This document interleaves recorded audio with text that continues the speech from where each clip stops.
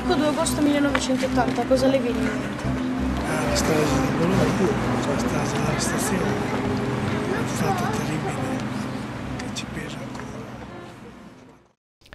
Video dell'epoca, interviste ai superstiti, testimonianze dirette. Il 2 agosto 1980, giorno dell'attentato alla stazione di Bologna, non esistevano motori di ricerca e smartphone, ma non per questo la memoria di quel tragico evento deve essere inaccessibile per chi con internet è cresciuto.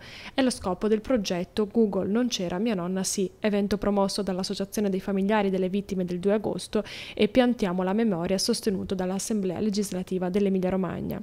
Un piano per presentare alla cittadinanza video e audio realizzati realizzati da studenti nell'ambito di progetti formativi dedicati alla storia del terrorismo e delle stragi. I video che saranno presentati venerdì 31 luglio insieme ad altri realizzati nelle scuole emiliano-romagnole, alcuni dei quali premiati dal Presidente della Repubblica, sono stati pubblicati nella sezione Buone Pratiche del sito www.mappedimemoria.it realizzato dall'Associazione 2 Agosto in collaborazione con l'Assemblea legislativa. E per commemorare il 2 agosto quest'anno è stata messa in piedi anche l'iniziativa Avrei potuto essere io, un progetto artistico che Sonia Lenzi, artista e fotografa di Bologna, ha realizzato con l'obiettivo di mantenere viva la memoria della strage avvenuta alla stazione di Bologna.